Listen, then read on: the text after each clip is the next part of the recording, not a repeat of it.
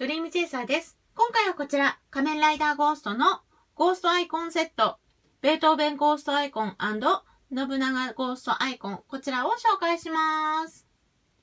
今回は絵で見る限り、あれですね、こっちがゴーストの方が手に入れて、こっちがスペクターの方が手に入れてって感じっぽいですね。紫と、ちょっとシルバーっぽい感じのアイコンでかっこいいです。別売りのデラックスゴーストドライバーでゴーストチェンジ。ベートーベンのゴーストアイコンで仮面ライダーゴースト、ベートーベン魂にゴーストチェンジ。そしてスペクターの方は信長ゴーストアイコンで仮面ライダースペクター、信長魂にゴーストチェンジ。こちらのアイコンは他のものと同じようにボタンを押すと絵柄が4種に変化します。そして後ろの QR コードでガンバライジングや、えっと、ウェブ上などでもこのように読み込んで遊べるようです。こちらにはガンバライジングカードが2枚付属しているとのことなので、こちらも見てみましょう。では早速開けていきたいと思います。では、このロゴを切ったので、早速開けてみましょう。カードはこの内側についてますね。ペタッと貼られています。綺麗に封入されてますね。こちらと、あれ ?1 個。この中に2枚入ってるんですね。と、あとはアイコン、肝心のアイコンが、はい。一気に2つゲットです。こちらが信長ゴーストアイコンで、こちらがベートーベンゴーストアイコンになります。まずは信長から見ていきましょう。お、ひなわ銃ですね。12番です。信長ゴーストアイコン。やっぱりこれ並べると上から見てもかっこいいのがいいですよね。今回のアイコン。そして、こちらのベートーベンゴーストアイコンの上はこんな感じ。音符が書かれてますね。えー、面白い。顔が音符。こちらは6番になります。では、こちらのガンバライジングカードも見てみましょう。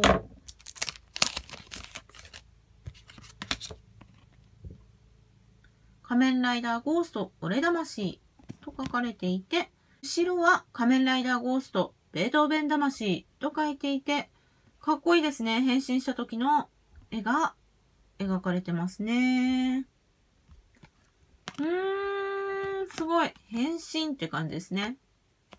スペクターの方も同じ感じ。仮面ライダースペクターが表にあって、裏には仮面ライダースペクター、信長魂。これもかっこいい。そしてガンガンハンドを使うんですね。こんな感じで攻撃するみたいです。では今度はこちらの変身ベルトの方にセットして音声を聞いてみたいと思います。まずはベートーベンからいこうかな。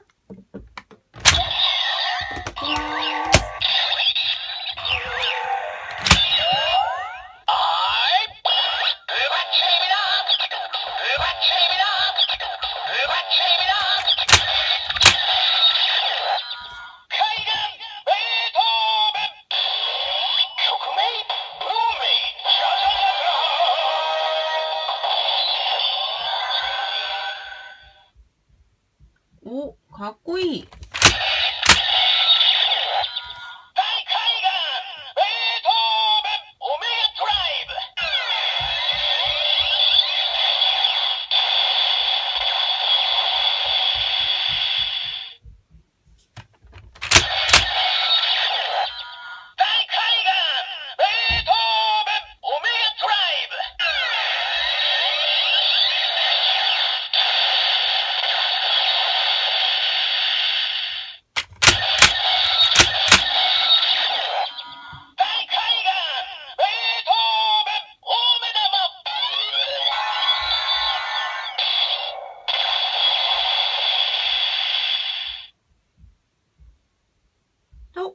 感じですね。いつも通り変身した直後の、あの絵のところまで戻ってくれば、大目玉の必殺技が出ます。では続いて、信長ゴーストアイコンを入れてみましょう。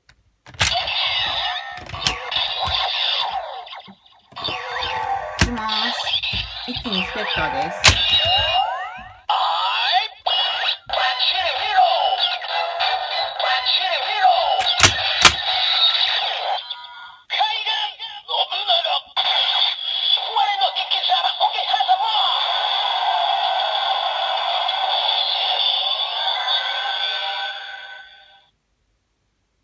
完全にラップ調な信長みたいな感じで面白いです。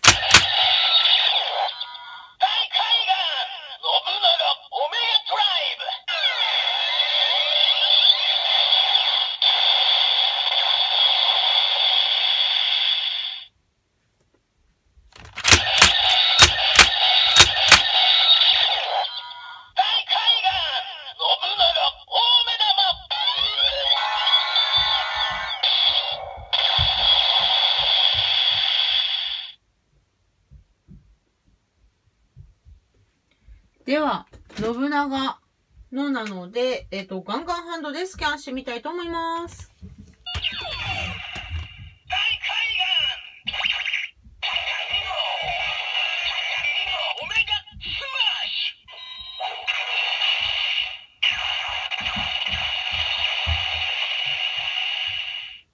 せっかくなので火縄銃にしなきゃダメですね。もう一回いきます。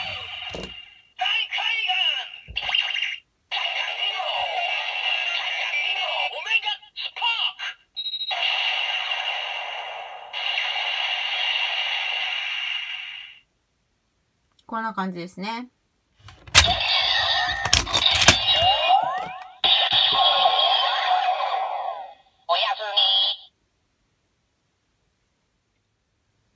というわけで、今回は、デラックス、ベートーベンゴーストアイコン信長ゴーストアイコンのセットを紹介しました。次回もお楽しみに。チャンネル登録よろしくお願いします。以上、ドリームチェイサーでした。また見てね。バイバーイ